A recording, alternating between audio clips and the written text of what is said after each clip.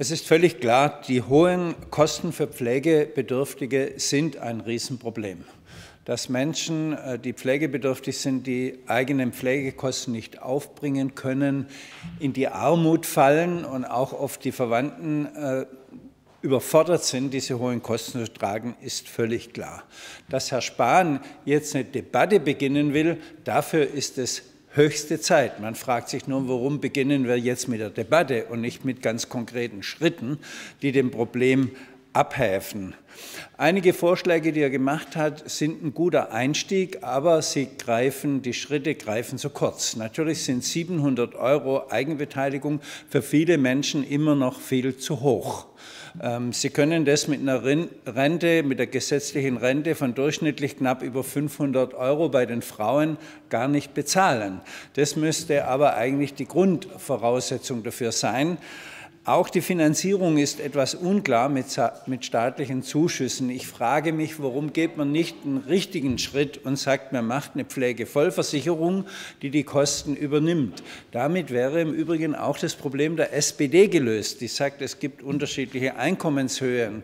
Die unterschiedlichen Einkommenshöhen könnte man aber, äh, äh die Frage der unterschiedlichen Einkommenshöhen könnte man lösen, indem man äh, tatsächlich alle Einkommensarten eben heran anzieht bei der Finanzierung des Gesundheits- und Pflegesystems.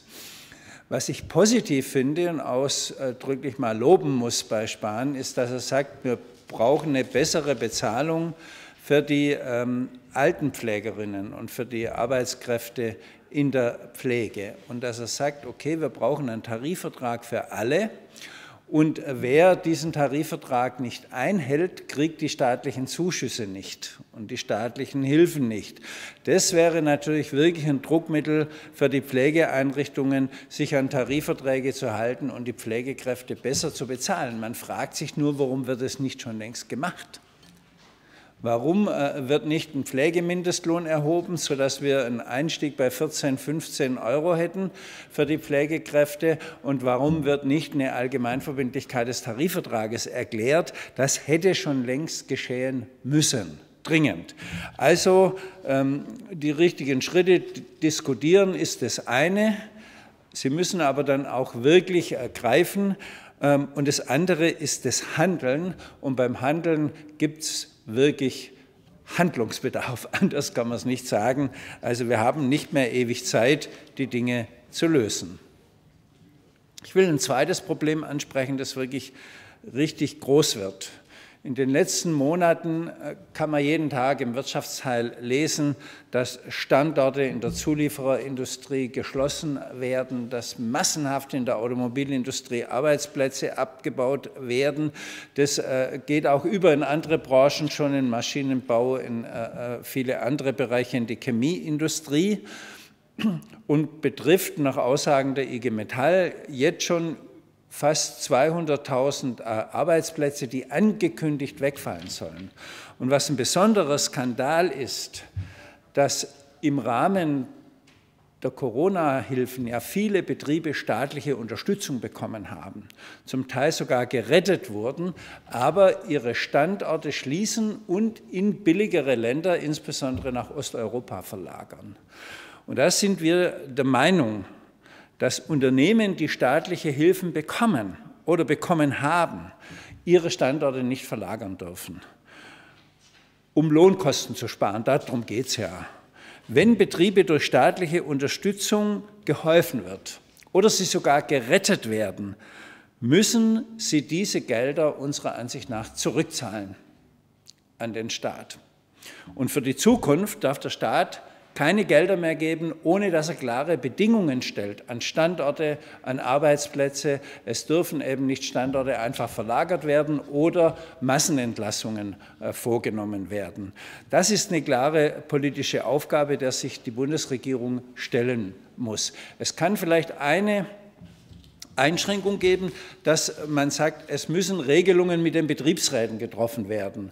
Manchmal ist ja auch so, dass da neue Arbeit äh, angesiedelt wird. Aber ähm, der Betriebsrat muss hier ein klares Veto haben, dass Standorte, die über 30, 40 Jahre von den Belegschaften aufgebaut werden, nicht mit einem Federstrich der Manager äh, geschlossen werden können, verlagert werden können und dann Tausende und Zehntausende von Menschen erwerbslos werden und ihre Familien in Existenznot äh, bekommen. Da ist dringender Handlungsbedarf. Ich fürchte, da steht uns eine wirkliche Welle von Arbeitsplatzvernichtung erst noch bevor und wir erleben die jetzt im industriellen Bereich und werden die aber auch im Handel und in anderen Branchen im Spätherbst erleben. Da wird eine Insolvenzwelle auf uns zukommen und äh, Zehntausende oder gar Hunderttausende von Arbeitsplätzen werden betroffen sein.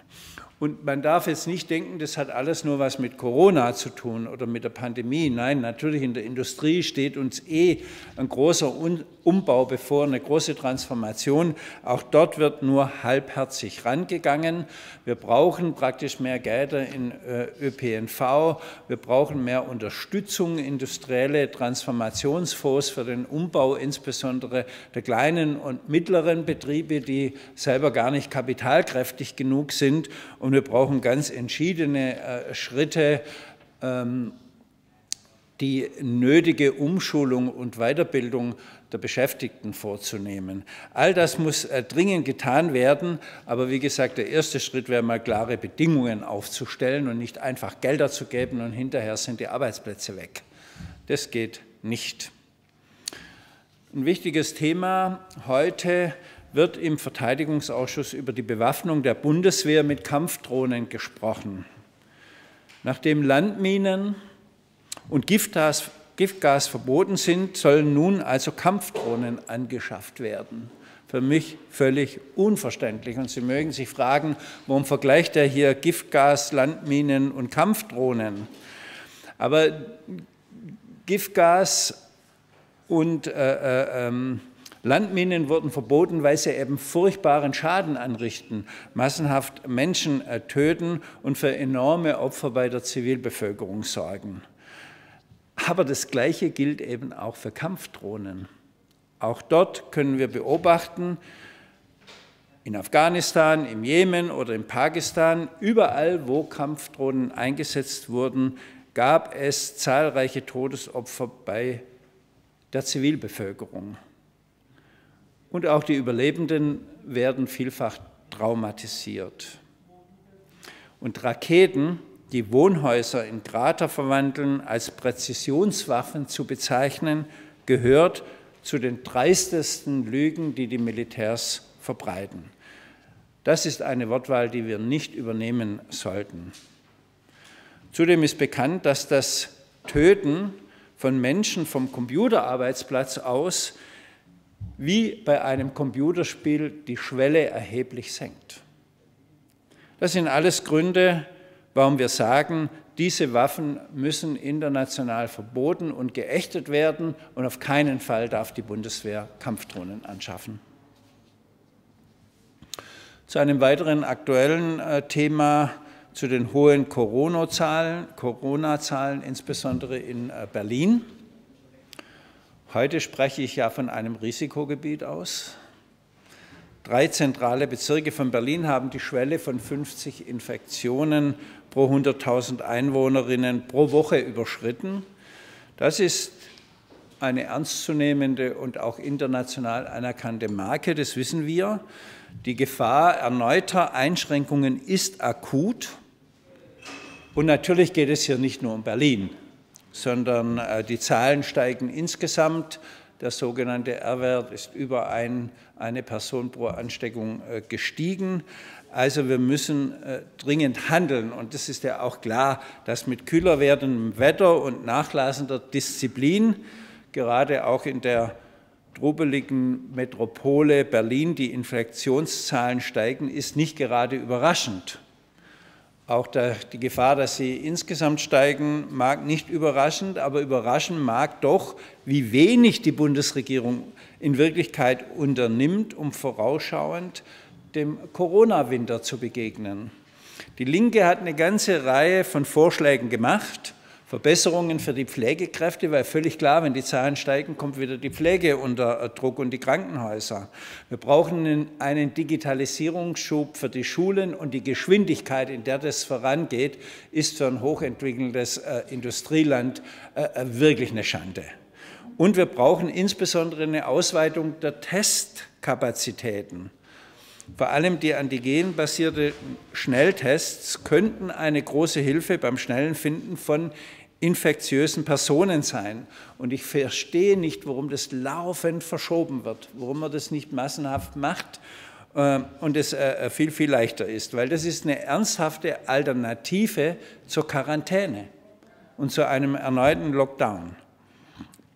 Das alles könnte und müsste dringend jetzt getan werden und wir werden keine Ruhe geben und unsere Vorschläge die ganze Zeit massiv einbringen.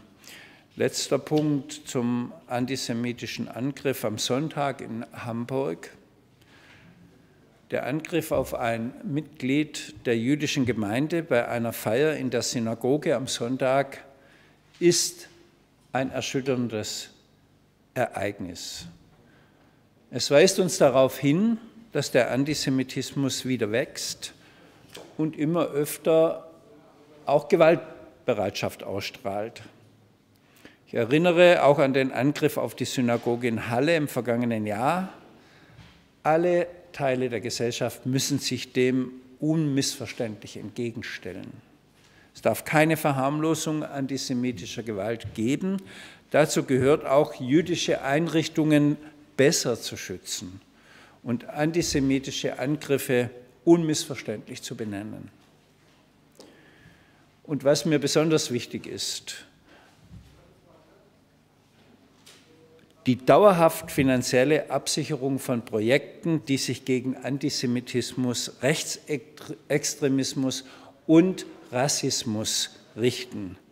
Es ist kein Zustand, wenn in Sonntagsreden gesagt wird, wir sind alle gegen Rassismus und Antisemitismus, aber die zivilen Organisationen, die vielen Verbände, die vielen äh, Einrichtungen, die im Alltag sich dagegen arrangieren, müssen sich Sorgen um ihre Finanzierung machen und ob sie ihre Projekte überhaupt noch in der Zukunft weiterführen können. Da muss Reden und Handeln endlich zusammenkommen. Jetzt ist Zeit für Fragen. Eine Frage ist bereits ähm, per SMS geschickt worden von Herrn Schneider vom ARD Hauptstadtstudio zum Thema der Pflegereform. Es geht nochmal zum ersten Thema ein bisschen detaillierter. Ähm, generell, was halten Sie von dem Vorschlag? 6 Milliarden will Spahn für die Entlastung von Angehörigen und Verbesserung der Bezahlung ausgeben. Wo kann das Geld angesichts knapper Kassen herkommen? Und Maximal 700 Euro Eigenanteil in den ersten 36 Monaten der Pflege beantwortet Spahn mit dieser Deckelung die wichtigste Frage der Angehörigen. Was Spahn jetzt vorgeschlagen hat oder in die Debatte eingebracht hat, ist in der äh, Sache ein richtiger Schritt. Er greift jedoch zu kurz. 700 Euro sind immer noch zu hoch, für viele Menschen nicht stemmbar. Deswegen äh, sagen wir ja, wir müssen eine Pflegevollversicherung machen, wo eigentlich alle Kosten übernommen werden.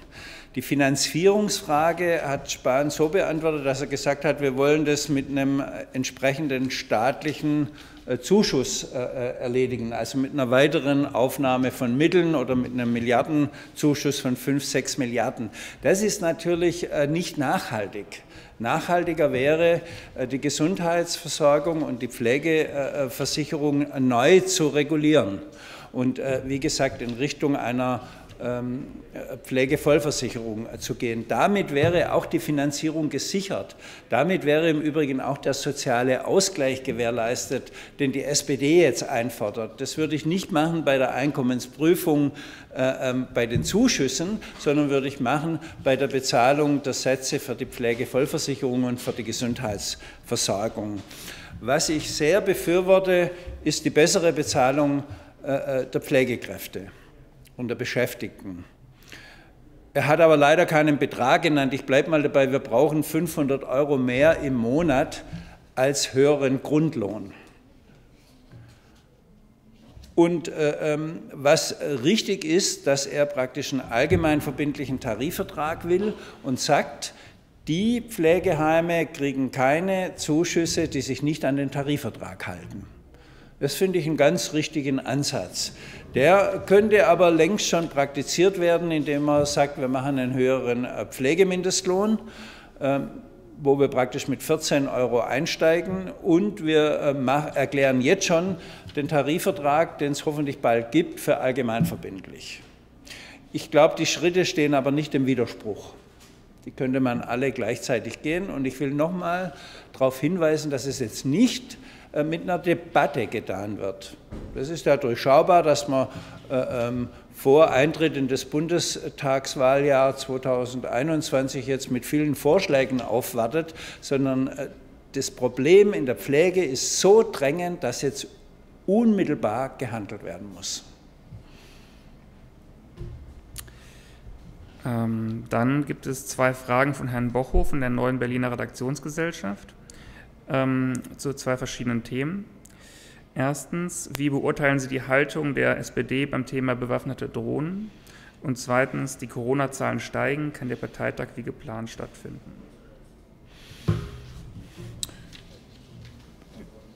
Bewaffnete Drohnen für die Bundeswehr darf es nicht geben. Das äh, muss grundsätzlich abgelehnt werden. Und auch die SPD ist gut beraten, wenn sie das machen würde. Und was war die zweite Frage? Ähm, ob der Parteitag trotz äh, steigender Corona-Zahlen stattfinden kann. Ja, ich hoffe doch, dass der Parteitag äh, stattfinden kann. Aber wir sind natürlich heute auch zusammengehockt in äh, unserer engeren Führungsrunde und haben nochmal die Zahlen angeguckt und haben eine gewisse Besorgnis, äh, was wirklich passiert. Ich hoffe, dass die Zahlen zurückgehen und nicht weiter steigen. Und äh, wir haben aber natürlich einen Plan B und einen Plan C, C auch gemacht. Der Plan B wäre eben dann ein verkürzter Parteitag, wo wir insbesondere die Wahlen äh, stattfinden lassen. Das hätte für uns absolute Priorität, dass wir das hinbekommen. Wenn alle Stricke reißen, müssen wir uns natürlich auch überlegen, den Parteitag zu verschieben, kriegen dann aber ein Riesenproblem, mit dem Parteiengesetz, das dann unbedingt geändert werden müsste. Es trifft ja nicht nur uns, sondern auch die CDU. Wir sind zwingend äh, äh, äh, nach dem jetzigen Parteiengesetz ähm, angewiesen, praktisch einen Parteitag zu machen und auch die Wahlen zu machen. Ich, wir gehen davon aus, also unser Hygienekonzept ist sehr gut. Äh, erfüllt die Voraussetzungen. Wir lassen auch ähm, wenig Leute zu, die über die Delegierten hinaus auf den Parteitag kommen können. Alles, was sonst immer gemacht wird, großzügig mit Gästen, mit äh, Gastrednern, mit internationalen äh, ähm, Teilnehmerinnen, all das können wir nicht machen. Ähm, aber wie gesagt, wir wären alle froh, also weil es dann doch so ist, wenn man schon mal jetzt angekündigt hat, man wird nicht mehr kandidieren, man braucht eine neue Führung und das zögert sich ewig hinaus. Das ist natürlich kein äh, befriedigender Zustand und von daher wären wir sehr erleichtert, wenn dieser Parteitag stattfinden kann. Gibt es weitere Fragen? Das sehe ich nicht. Ich danke Ihnen für Ihre Aufmerksamkeit.